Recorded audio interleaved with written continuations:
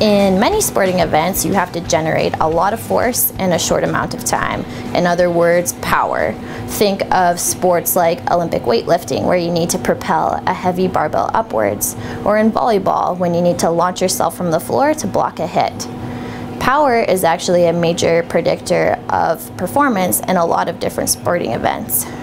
The Biodex actually allows us to measure the force and power of many different muscle groups we will have our subjects seated in the chair and they will push and pull as hard as they can against the biodex while it maintains a constant velocity of movement.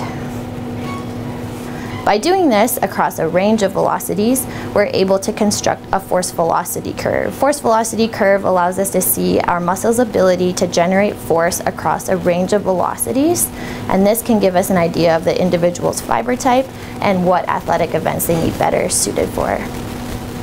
Students actually get to act as our test participants and they're also responsible for running the protocol from start to finish. Push, push, push, push, push, push, push, push, and pull and push.